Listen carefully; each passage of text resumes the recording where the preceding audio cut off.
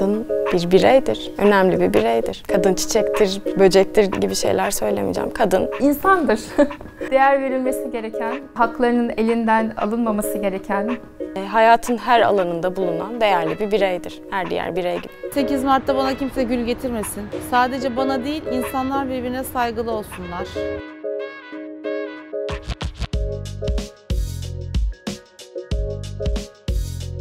Asıl çıkış iktisat. Üzerine yüksek lisansımı iş sağlığı güvenliği üzerine yaptım. B sınıfı uzmanım.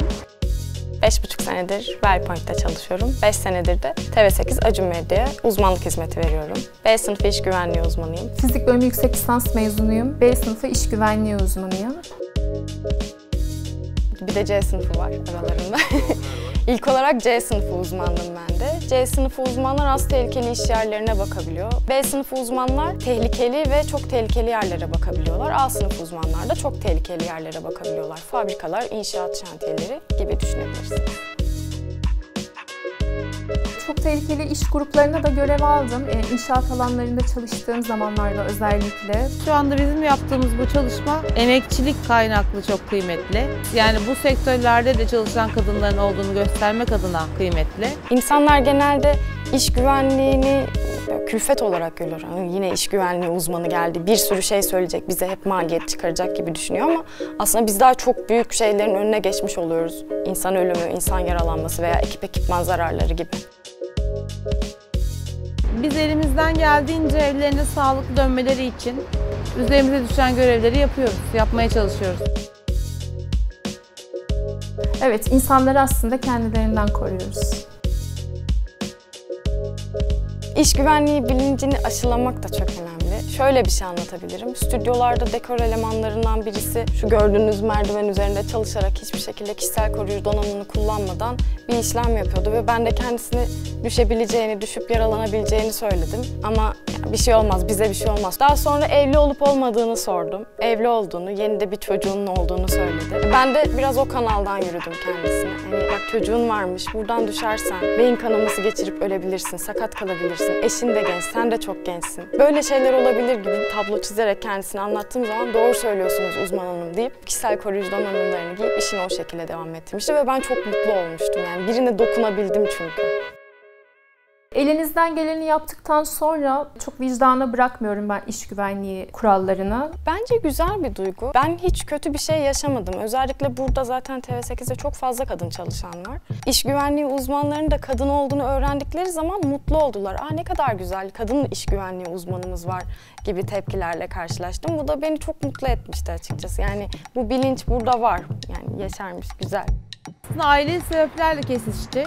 Benim babam bu sektör için çok çalışma yapmış bir insandı. Bir akademisyendi. İş sağlığı güvenliği üzerine ilk kürsüyü kuran insan. Çalışma Bakanlığı'yla bu yönetmelikle ilgili çok çalışmalar yapmış.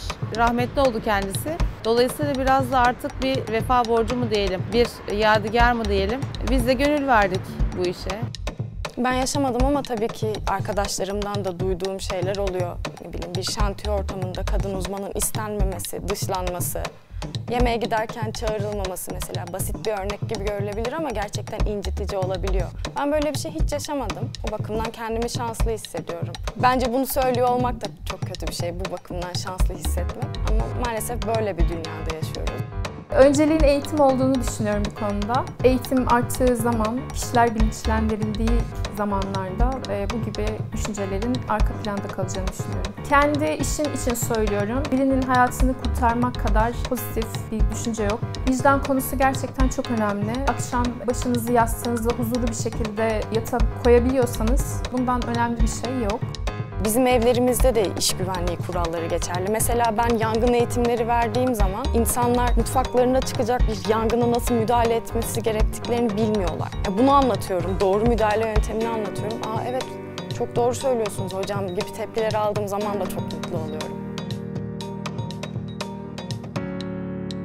Özellikle kişisel koruyucu ekipman kullanıp sahada dolaştığımız zamanlarda fotoğraflama falan da çekiyoruz. Bu gibi zamanlarda evet e, yakın ailem, arkadaşlarım tarafından da sektörde ne yapılıyor, nelerle karşılaşıyorsun, ne gibi ortamlarda çalışıyorsun gibi merak uyandırıyor kişilerde.